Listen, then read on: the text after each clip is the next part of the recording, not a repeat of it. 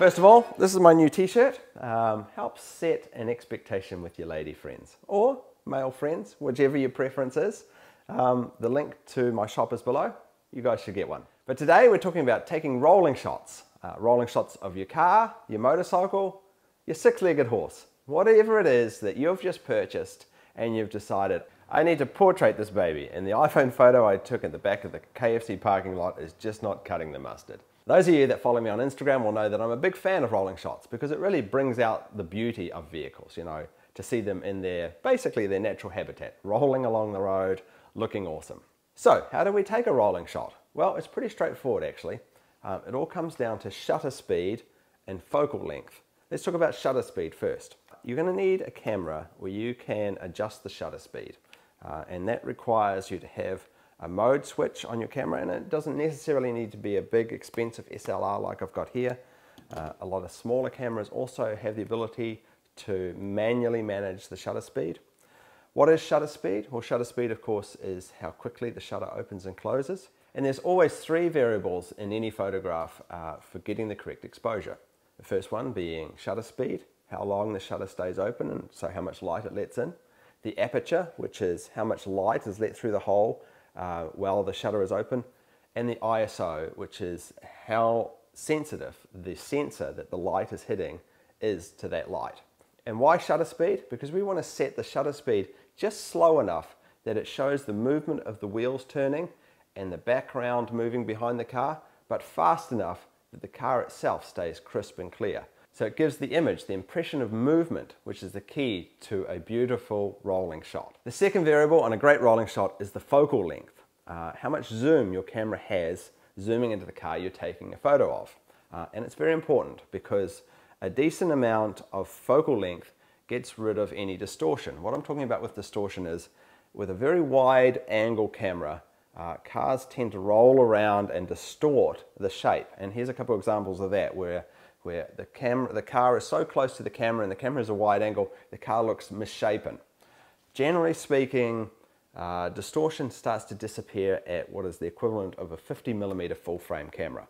Uh, that is about a 35 millimeter on a crop frame camera. So you want to have a lens that is a, a decent focal length uh, and, and not too much because as soon as you go too far with your focal length, then the car you're taking the photo of has to be so far away that you'll never find a road where there's that sort of distance between you and the car that you're taking a photo of. So I'd recommend anywhere between say 24 to 100 millimeters and you're probably going to be taking most of your photos in the 50 millimeter range. And the third option, if you really want to get fancy, is having one of these. Uh, this is a circular polarizing filter and it does two things for us in this case, possibly three.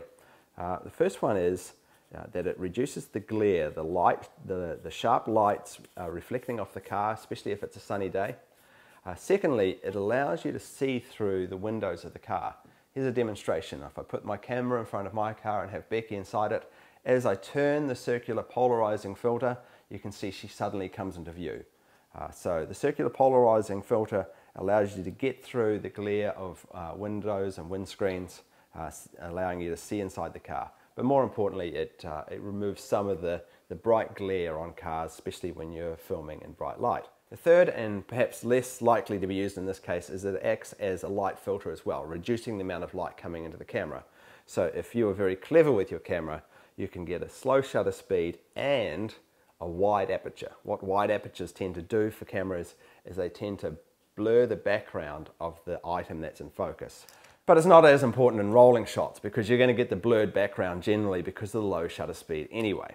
So what shutter speed are we going to use? Well, we're going to put the camera in TV mode, uh, which is shutter priority, which means it's, you set the speed of the shutter and the camera does everything else automatically for you.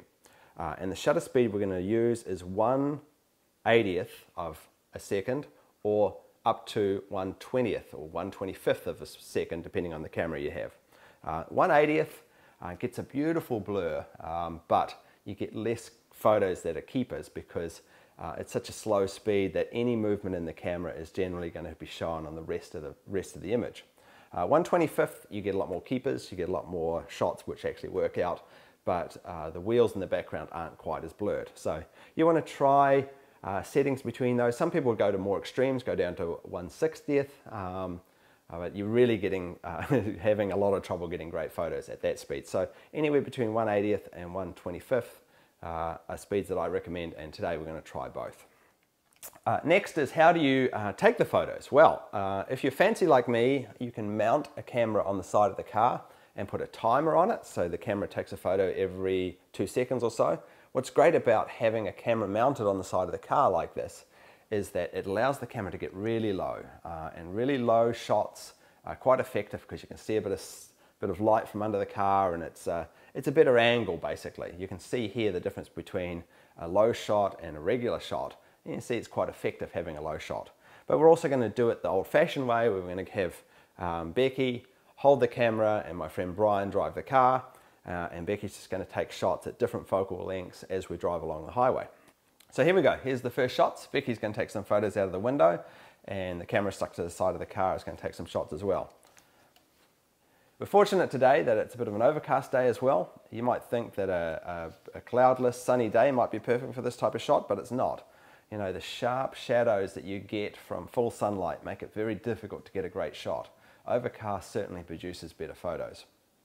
The other thing we're fortunate about, of course, is that it's fall, so we're getting the nice leaf colors in the background. So here we are, uh, we're getting some great shots, and this is the first time Becky's ever taken this type of shot, and as you can see, they're coming out great, just because we've got the camera set up correctly, uh, with the correct shutter speeds between 80 to 125 as I said. And she's varying the focal length uh, within the parameters that I told her. And you know even though she's had no experience in this she's getting some great shots here and the same can be said of the camera down below. The camera down below doesn't have the polarizing filter on it so I think the, the shots that Becky's taking are actually coming out better. Um, but either way, the shots are looking great and it really is this easy to get such beautiful shots. You do need, of course, friends or family to help drive the car. Uh, so you can take the photos and someone else drive your car or vice versa. But either way, it's pretty easy once you know the settings, you know how to set up the camera um, to get beautiful shots like this. Mm. So if you have any questions about taking rolling shots, uh, be sure to email me if you wish. Um, but yeah, just remember, you want to set your shutter speed priority um, between 80 to 125, uh, and you want to keep your focal length from, you know, 35 millimeters up to about 85 millimeters, and you'll get beautiful shots like these. So Thanks for watching everyone. I hope this has been helpful. Bye then.